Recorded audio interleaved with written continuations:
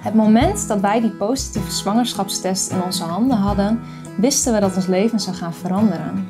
Vanaf dat moment stond ons leven in het teken van jou, Rowan. Toen jij na negen maanden geboren werd, waren wij echt zo op slag verliefd, want jij verrijkt ons leven. Iedere dag is voor mij een stukje mooier omdat wij jouw mooie, blije kopje mogen zien.